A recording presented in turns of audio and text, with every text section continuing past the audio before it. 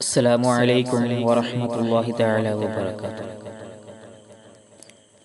നശ്വരമായ ഈ ഭൂമിലോകത്തു നിന്നും യാത്ര പറയേണ്ടവരാണ് നാം ഏകാന്തമായി കിടക്കേണ്ട കബറിൽ നമ്മുടെ കൂടെ നമ്മുടെ കൂട്ടുകാരനായി ഉണ്ടാകുന്ന ഏഴ് കാര്യങ്ങൾ നബി സല്ലല്ലാഹു അലൈഹി വസല്ലം തങ്ങൾ നമ്മെ പഠിപ്പിക്കുന്നത് ഏതൊക്കെയാണ് ആരൊക്കെയാണ് കബറിൽ നമ്മുടെ കൂടെ ഉണ്ടാവുന്ന ഏഴ് കൂട്ടുകാർ? നബി സല്ലല്ലാഹു അലൈഹി വസല്ലം തങ്ങൾ പഠിപ്പിക്കുകയാണ് ഒരു മനുഷ്യൻ മരിച്ചു കഴിഞ്ഞാൽ ഏഴ് കാര്യങ്ങൾ അവന്റെ കൂടെ ഉണ്ടാകും. അതിൽ ഒന്നാമത്തെ കാര്യം എന്നുള്ളത് മൻ അല്ലമ ഇൽമൻ. ഒരുത്തൻ പഠിപ്പിച്ച ഇൽമാണ്. ഇൽമ പഠിച്ചു അവൻ ആ ഇൽമ മറ്റുള്ളവർക്ക് പകർന്നു കൊടുത്താൽ ഒരു ഹറഫാണെങ്കിൽ ഒരു ഹറഫെന്ന് പഠിപ്പിച്ചു കൊടുത്താൽ ആ പഠിപ്പിച്ചു കൊടുത്ത ഇൽമ നാളെ അവന്റെ കൂടെ അവന്റെ കബറിൽ ഉണ്ടാകുമെന്ന് ഹബീബായ റസൂലുള്ളാഹി സല്ലാഹു അലൈഹി വസ്ലം തങ്ങൾ പഠിപ്പിക്കുകയാണ്. അപ്പോൾ എന്റെ പ്രിയപ്പെട്ട ഒരു ഇൽമ പഠിക്കുക എന്നത് വലിയ മഹത്വമുള്ള കാര്യമാണ്. അത് പഠിപ്പിച്ചു കൊടുക്കുക എന്നുള്ളതും വലിയ മഹത്വമുള്ള കാര്യമാണ്. അള്ളാഹു നമുക്ക് തോഫീക്ക് നൽകുമാറാവട്ടെ. രണ്ടാമത്തെ കാര്യം എന്നുള്ളത് അജ്റ നദി നദിയിലൂടെ ഒഴുകുന്ന വെള്ളം.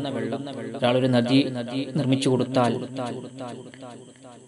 ആ ഒരുത്തന്റെ വഴിയിലൂടെ പറമ്പിലൂടെ ഒഴുകുന്ന നദി ആ നദിയിലുള്ള വെള്ളം ഒരുത്തൻ ഒഴുക്കി ഒഴുകാൻ സമ്മതിച്ചു കഴിഞ്ഞാൽ ഒഴുക്കി വിട്ടാൽ ആ അതിലുള്ള വെള്ളം അതിൽ നിന്ന് ആരൊക്കെ വെള്ളം ഉപയോഗിക്കുന്നുണ്ടോ അതൊക്കെ അവന്റെ നാളെ അവന്റെ കബറിൽ കൂട്ടുകാരനായി ഉണ്ടാകുമെന്ന് ഹബീബായ മുഹമ്മദ് റസൂൽ വാഹിബ് സുലല്ലാഹു അലൈഹി തങ്ങൾ പഠിപ്പിക്കുകയാണ് മൂന്നാമത്തെ കൂട്ടുകാരൻ എന്നുള്ളത് ഹഫറ.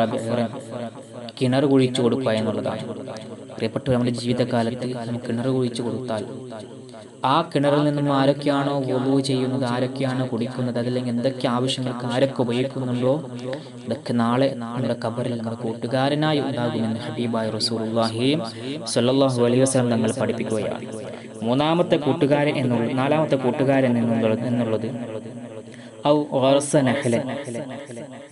മരം നട്ടുപിടിപ്പിച്ചു കഴിഞ്ഞാൽ ആ മരത്തിന്റെ തണൽ ആരൊക്കെ അനുഭവിക്കുന്നുണ്ടോ? അതല്ലെങ്കിൽ അതിലുള്ള ഫലങ്ങൾ ആരൊക്കെ ഭക്ഷിക്കുന്നു?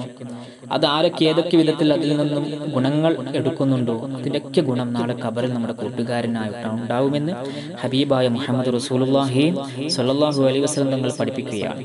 അഞ്ചാമത്തെ കാര്യം എന്നുള്ളത് ബനാ മസ്ജിദ്. ഒരാൾ വള്ളി നിർമ്മിച്ചു കൊടുത്താൽ വലിയ പുണ്യമുള്ള കാര്യമാണ് എന്റെ പ്രിയപ്പെട്ടവരെ.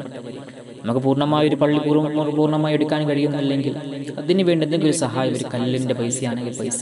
അതിൽ മറ്റെന്തെങ്കിലും ഒരു സഹായം ചെയ്തു കൊടുത്താൽ അത് നാളെ നമ്മുടെ കബറിൽ നമ്മുടെ കൂട്ടുകാരനായി ഉണ്ടാവുമെന്ന് ഹബീബായ മുഹമ്മദ് റസൂലുള്ളാഹി സല്ലാഹു അലൈ വസ്ലം തങ്ങൾ പഠിപ്പിക്കുകയാണ്. ആറാമത്തെ കൂട്ടുകാരൻ എന്നുള്ളത് ഏതെങ്കിലും ഹാഫിലിങ്ങൾക്കോ അതല്ലെങ്കിൽ ഏതെങ്കിലും പള്ളിയിലേക്കോ ഖുർആൻ വാങ്ങിച്ചു കൊടുത്താൽ ആ ഖുർആൻ ആരൊക്കെ ഉപയോഗിക്കുന്നു ആരൊക്കെ ഓതുന്നു അതിന്റെ ഒക്കെ പ്രതിഫലം നമ്മുടെ ഖബറിലേക്ക് നമ്മുടെ കൂട്ടുകാരനായിട്ടുണ്ടാവുമെന്ന് ഹബീബായ മുഹമ്മദ് റസൂലുള്ളാഹി സ്വല്ലല്ലാഹു അലൈഹി വസല്ലം നമ്മൾ പഠിപ്പിക്കുകയാണ്. ഏഴാമത്തെ കൂട്ടുകാരൻ എന്നുള്ളത് തറക്ക വലത യസ്തഗ്ഫിറു ലഹു ബഅദ മൗതിഹി നമ്മുടെ സ്വാലിഹായ സന്താനം. നാം മരിച്ചു കഴിഞ്ഞാൽ നമ്മുടെ കബറടുക്കൽ വന്നുകൊണ്ട് യാസീൻ ഓതുന്ന. ഇസ്തഗ്ഫാർ ചെല്ലുന്ന തഹലീലുകളോ ചെല്ലും നമ്മുടെ മക്കൾ അങ്ങനെയുള്ള നല്ല സ്വാലിഹായ മക്കളും നാളെ നമ്മുടെ കബറിൽ ആ മക്കൾ നമുക്ക് വേണ്ടി പ്രാർത്ഥന ചെയ്യുമ്പോൾ നമുക്ക് വേണ്ടി ദിക്കറുകൾ ചെല്ലുമ്പോൾ അതൊക്കെ നാളെ നമ്മുടെ കബറിൽ കൂട്ടുകാരനായിട്ടുണ്ടാവുമെന്ന് ഹബീബായ മുഹമ്മദ് റസൂലുള്ളാഹി സലാഹു അലൈഹി വസ്ലം തങ്ങൾ പഠിപ്പിക്കുകയാണ്. അതുകൊണ്ട് എന്റെ പ്രിയപ്പെട്ട ഈ ഏഴ് കാര്യങ്ങൾ ഏതെങ്കിലും ഒരു കാര്യം നമ്മുടെ ജീവിതത്തിൽ നാം ചെയ്യാൻ തയ്യാറാവണം.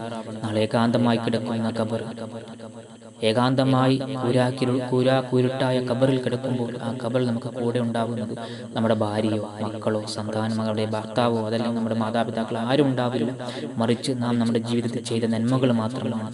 അതുകൊണ്ട് ഏതെങ്കിലും ഒരു കാര്യമെങ്കിലും നമ്മുടെ ജീവിതത്തിൽ ചെയ്യാൻ നമുക്ക് തയ്യാറാവണം. അള്ളാഹു തോഫീക്ക് ചെയ്യുമാറാവട്ടെ. അസ്സാം വലൈക്കും വാഹമത്തല്ലാഹി വബറകാതുഹു.